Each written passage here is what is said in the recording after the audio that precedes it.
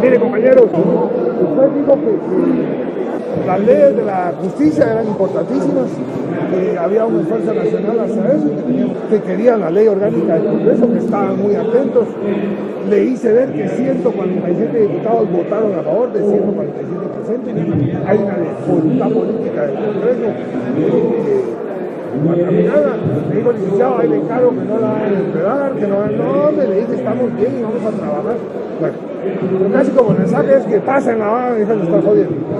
Después eh, va a venir una va a venir una reformas constitucionales del sector justicia, unas que habíamos hablado ya se vienen hace ratos aquí, vamos que no creo que cambien mucho. O sea, no van a Nacional Constituyente, van a reformas constitucionales. Las va a traer aquí el presidente de la República, junto con el Procurador de Derechos Humanos, Naciones Unidas, el Iván Bengal, van a venir toda la hora hasta la iglesia, a pedir eso, para que nosotros lo aprobemos. Que querían las leyes también del Ministerio Público, la de la carrera judicial que está enredada en comisión, y querían quieren la de multifinancieras, algo así. Microfinanzas es la cosa, microfinanzas que, que, está en la comisión y no han hecho nada. Eso ya lo voy a empezar a empujar, que nos encargaran eso. Que viene el martes al Congreso, él y cinco personas de, las Naciones Unidas, entonces, a plantear eso que les estoy hablando. Bueno, esa es la parte de información de, lo que él dijo así general. Yo a entender, aunque no me lo digo así, pero entre palabras, que en la investigación que iban, le iban a caer a los parientes de los diputados. O sea, si alguien tiene hijo, sáquenlo muchachos porque su mujer lo va a colgar si se lo llevan al bote.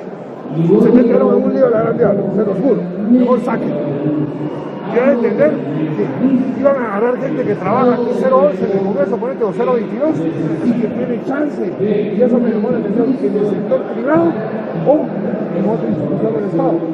Los del Estado fácil los cruzan, no que Los del sector privado lo que están haciendo es que están llegando a las empresas privadas.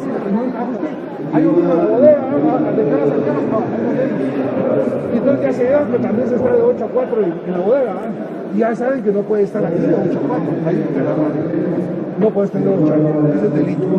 Eso los van a agarrar, eso fue lo que entendí. Los parientes y eso. Porque no soltó nada, o sea, solo así todo muy suavecito. Que, le hice ver que, había mucha reacción negativa hacia los diputados, que, la gente estaba muy enardecida y que hasta dónde llegar eso, hasta donde sea necesario. Que, que en la calle estaban insultando a la gente trabajadora y que estaba la gente molesta con los diputados usted no se preocupe por la calle. Eso es la calle. O sea, la calle. O sea, todos esos cerotes ¿Ah? no te la creas que están pueblo. ¿Ah? Estábamos en eso, ¿eh?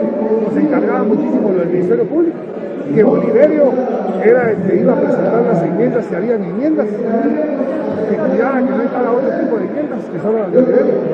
Boliverio tiene un peso el respeto. Entonces, hasta Bolivia hay que esperar lo que regrese. O sea que cuando lleguemos, si van a ver enmiendas, se las vamos a tener que preguntar a él. ahí vamos, o yo lo que les quiero trasladar es que el problema es de todos. Y que alguna vez en la vida seamos cuates todos y que salgamos todos Estamos pasando por un momento muy malo para y nos van a presionar todavía. Eso es feo, ya van a probar. Es bien feo. Y no es bonito ver a un compañero chao, aunque te caiga mal. A nadie le gusta. Ver a Pedro Mavi nos impactó y no, no, no. Entonces, primero Dios no pasa con nosotros y ojalá lo arreglemos. Pero por de pronto, pasemos la ley orgánica, pasemos la babosada esa del Ministerio Público. Viene el martes al tercer bloque. Y ahí va a explicar todo esto. Y ahí hay que preguntarle, mire, ¿se va a ir por el lado de reformas constitucionales? Estamos, Así que los voy a mantener al tanto del tema, mucha para que todos vayamos compartiendo la gusto. A la suegra sin ponerla.